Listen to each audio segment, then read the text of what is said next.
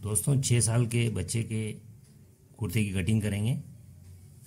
कुर्ते का नाप है छब्बीस इंच लंबाई है, बाईस इंच सीना है, बारह इंच शोल्डर है और साढ़ा सोलह इंच की आस्तीन है। गला ग्यारह इंच है, इसके अंदर अपन डेढ़ इंच प्लस करके साढ़ा बारह इंच की स्टैंड लगाएँगे। तो दोस्तों, शुरू करते हैं। ये कपड़ा है, तीन मीटर मेरे पास। छब्बीस इंच छत्तीस इंच का इसका अर्ज़ है। छत्तीस इंच अर्ज़ वाला तीन मीटर कपड़ा है। और सबसे पहले अपन दामन निकालेंगे। दामन निकालने के लिए अपने को जो सीना होता है, उस सीने का आधा करना होता है। और उस आधे के अंदर अपने को बच्चा है, इसलिए पाँच इंच प्लस करना पड़ेगा। तो सीना इसके अंदर है बाईस इंच बाईस इंच का आधा करेंगे तो ग्यारह इंच होगा और ग्यारह के अंदर अगर अपन पाँच इंच प्लस करेंगे तो ग्यारह और पाँच सोलह इंच होगा। तो इस तरह से अपन सोलह इंच अपन दामन रखेंगे। ठीक है? अब ये कपड़ा है डबल कर रखा है मैंने ये पूरा। तो यहाँ से अपन निशान लगाएँगे।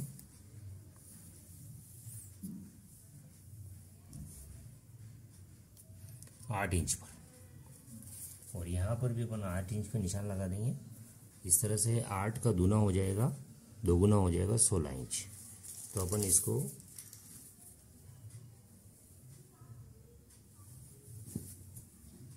इस तरह से बिछा देंगे।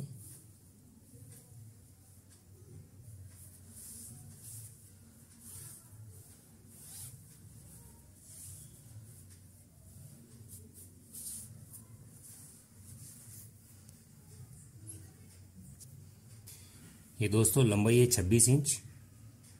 मैंने आधा इंच इसमें मार्जिन कर लिया है। इस तरह से साढ़े छब्बीस पे अपन निशान लगाएँगे और यहाँ ऊपर से निशान लगाएँगे। फिर यहाँ से अपन डेढ़ इंच शोल्डर के लिए डाउन करेंगे। डाउन शोल्डर डाउन के लिए निशान लगाएँगे डेढ़ इंच। फिर सीना अपना बाईस इंच है। बाईस इंच का वन फोर्थ करेंगे। साढ़े पाँच इंच होगा। साढ़े पाँच इंच पर निशान लगाएँगे। उसके बाद अपन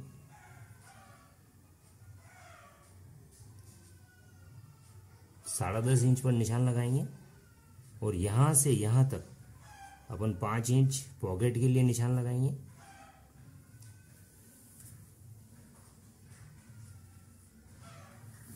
और यहाँ से यहाँ दो इंच अपन सिलाई के लिए निशान लगाएँगे।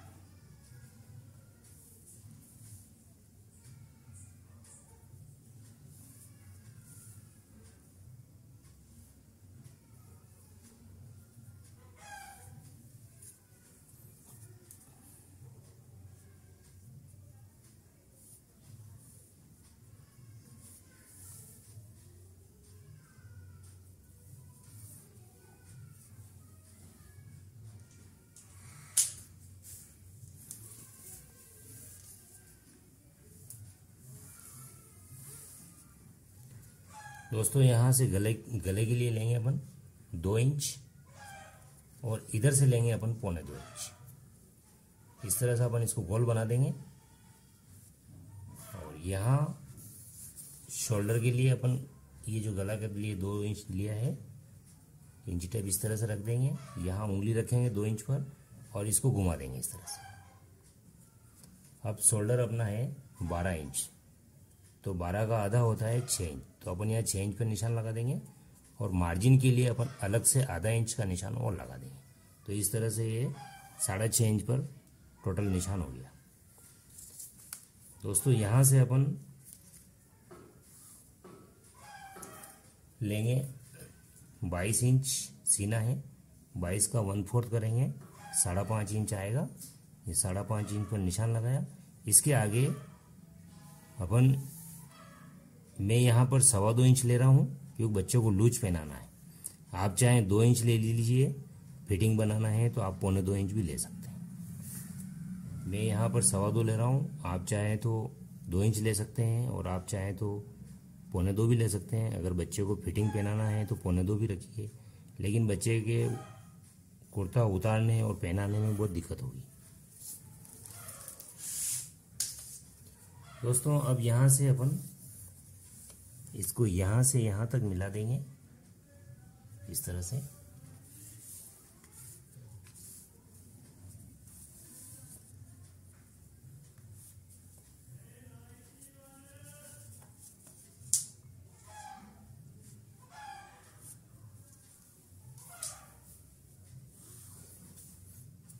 दोस्तों, यहाँ सामने जो पट्टी खुली रखेंगे, उसके ले लिए आप आठ इंच।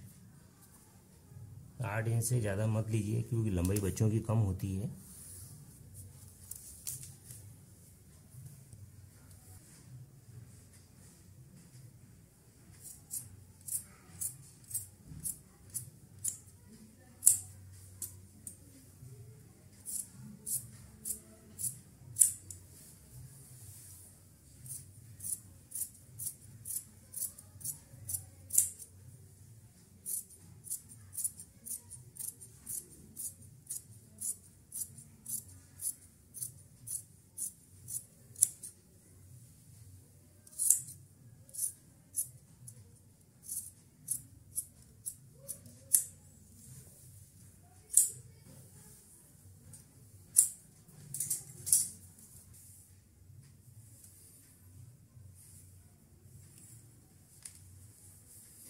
ये दोस्तों फ्रंट निकालने के बाद में जो बचा हुआ कपड़ा है ये, एक इसी अरज के वाले कपड़े को ही अपन डबल फोल्ड कर देंगे इस तरह से और यहाँ से अपन बैग निकालेंगे।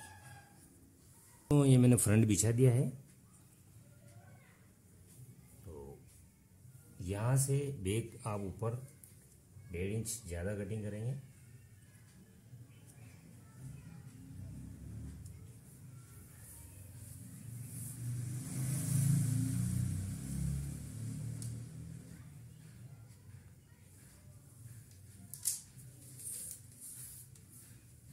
यहाँ से आप डेढ़ इंच ज़्यादा लेंगे बेग अब यहाँ से ये डेढ़ इंच पे आपने इंच टेप पकड़ रखा है। यहाँ से आप इसको ऐसे मार्जिन समेत दो इंच पे लेंगे। ये दो इंच पे लिया। अब ये जो मार्जिन पौन इंच जो बचा है ये, इस पौन इंच पे आप निशान लगा दीजिए। और यहाँ से आप इस तरह से गोले दे दीजिए।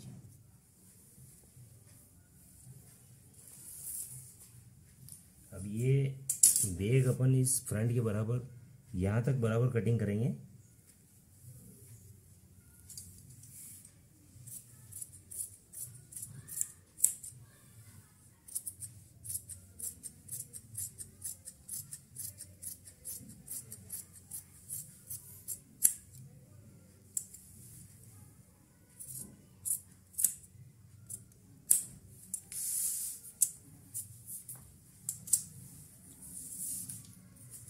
दोस्तों, यहाँ बारह इंच अपना शोल्डर है। तो बारह इंच पे आप निशान लगाएँ और आधा इंच सिलाई के लिए लीजिए आप, मार्जिन के लिए। तो इस तरह से ये साढ़ा बारह, इस तरह से आप ये तेरह इंच पर निशान लगा दीजिए, ये तेरह इंच पर निशान लगा दीजिए। और यहाँ से आप इसको फ्रंट के बराबर नहीं कटिंग करते हुए थोड़ा बढ़ा के मार्जिन कटिंग करिए इस तरह से बेग बड़ी कटेगी आपकी। ठीक है दोस्तों? ये बेग और फ्रंट दोनों की कटिंग हो चुकी है। अब ये यहाँ से यहाँ जो है, वो साइड पॉकेट जो होती है, उसके लिए मुँह रहता है यहाँ। तो यहाँ अपन जो निशान लगाएँ, इस पर आप हल्के से कट लगा दीजिए, ताकि बैग में भी निशान उठ जाए, और यहाँ से यहाँ तक साइड की सिलाई होगी। फिर यहाँ खुला रहेगा।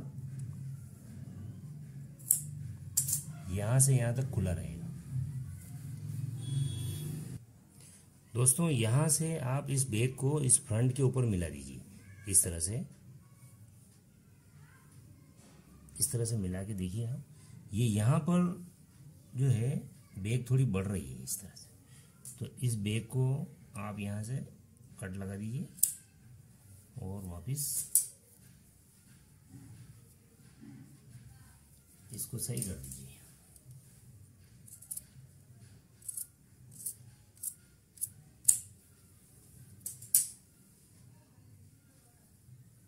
ये देखिए बराबर अगर आप इस तरह से कटिंग करेंगे तो ये हमें बिल्कुल सीधा रहेगा, इसमें कोई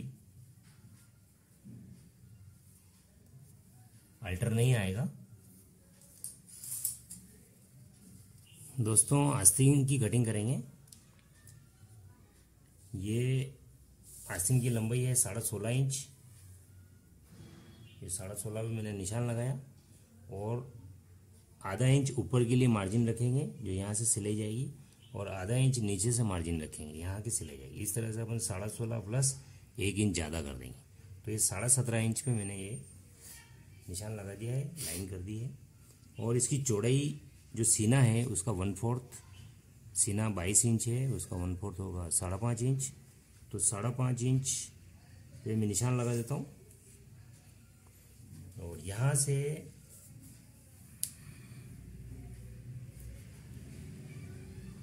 साढ़ा चार इंच मोरी के लिए रखते हैं अपन।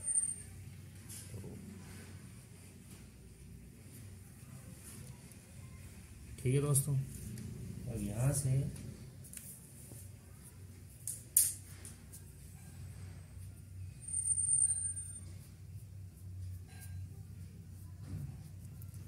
ये ड्राइंग जो आप करें, हमेशा उल्टे कपड़े पर करिए। मैंने हमेशा उल्टे कपड़े पे ड्राइंग करनी है, सीधे कपड़े पे नहीं करनी है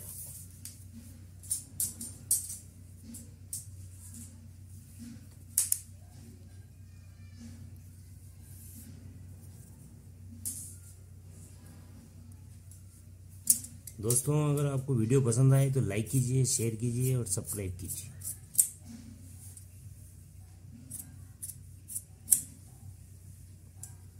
ये बहुत से कमेंट्स आते हैं कि आप इतने साल के बच्चे का कटिंग करिए, कुर्ता कटिंग करिए शलवार कटिंग करिए। तो इसलिए मुझे ये अलग अलग साल के बच्चों के लिए अलग अलग कटिंग करनी पड़ती है वीडियो बनाना पड़ता है। तो दोस्तों, ये जो जैसे छः साल के बच्चे का मैं कुर्ते की कटिंग कर रहा हूँ तो इसमें बहुत सी बार ऐसा होता है कि बच्चे के नाप अलग अलग होते हैं। कोई बच्चे की लंबाई ज़्यादा होती है, कोई दुबला होता है, कोई थोड़ा हल्का ठीक ठाक होता है तो सबके नाप अलग अलग आएँगे। तो आप अपने नाप के हिसाब से कटिंग करिए।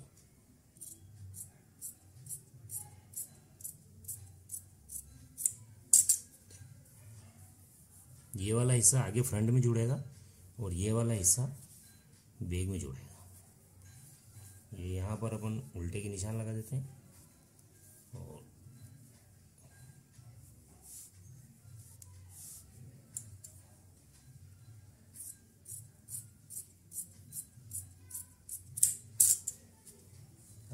अपन दूसरी कटिंग करें, दूसरी आसन की कटिंग करेंगे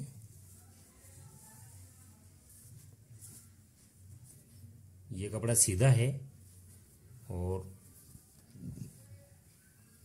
ये उल्टा है, लेकिन ये वाला हिस्सा सीधा है। सीधे को सीधे की तरफ़ रख के आप आस्तीन की कटिंग करिए।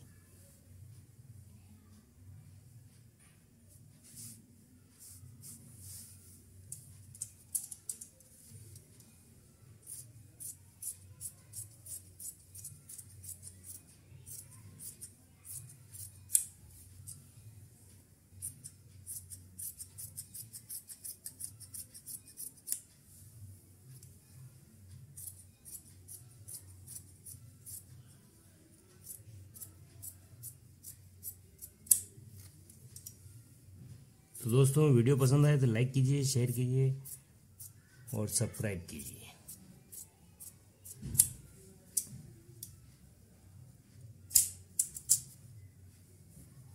अपन इधर भी उल्टे का निशान लगा देते हैं। तो ये दोनों आस्तीन की कटिंग हो चुकी है।